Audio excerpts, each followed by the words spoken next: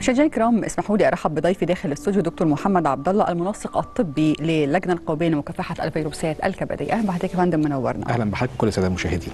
اولا ألف مبروك طبعا إن مصر تحصل على المستوى الذهبي للاصابه بفيروس سي ومعناها إن هو طبعا على مستوى العالم أو تبعا لمعايير منظمة الصحة العالمية إن إحنا دولة خالية من فيروس سي.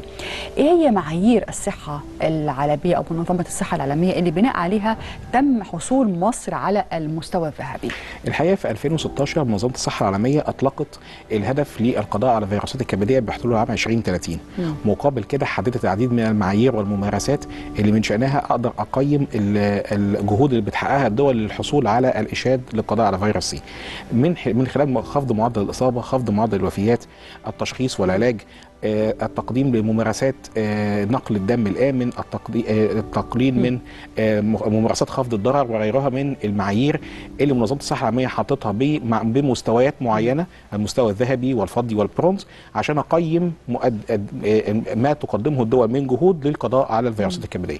وهي الحمد لله طبعا مصر تقدمت بالملف بتاعها للحصول على الإرشاد الدولي للقضاء على فيروس سي وتم آه، الحمد لله آه، حصول على المستوى الذهبي آه، وده طبعا تثمين لجهود الدولة المصرية على مدار السنين اللي فاتت من إن هي استوفت كافة المعايير بشكل فعال للحصول على المستوى الذهبي للقضاء على الفيروس طبعا هنتكلم على- نقطه نقطة عشان الحاجات دي مهمة الحقيقة جدا وتريح برضو ال- المشاهدين وتطمنهم. موضوع نقل الدم الآمن.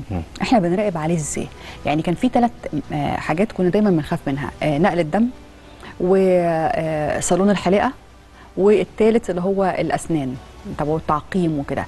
إزاي مصر بتراقب على الثلاث هذه أشياء اللي هي ممكن تنقل تاني فيروس سي عشان ما يبقى المرض لا يتفاقم مرة أخرى لا قدر الله؟ الحقيقة بالنسبة طبعا لنقل الدم إحنا عندنا في قرار آه، من رئاسة مجلس الوزراء الخاص بمراقبة مأمونية نقل الدم. مم. كل مواطن بيقدم ليه التبرع بالدم بيتم فحصه قبل إجراء الاختبار. آه، طبعا ده بيحقق بميزة من ميزتين أول حاجة طبعا الاكتشاف المبكر لأي آه، مريض عنده فيروس سي بيتم حالته لمركز العلاج. وفي نفس الوقت إحنا ما بناخدش تبرع من الدم إلا من شخص تم ثبوت إن هو ما عندوش أي آه، نوع من أنواع الإصابة بفيروس سي أو بفيروسات عموما لأن الاختبار بيتعمل لجميع الفيروسات الم- المنتقلة عن طريق الدم.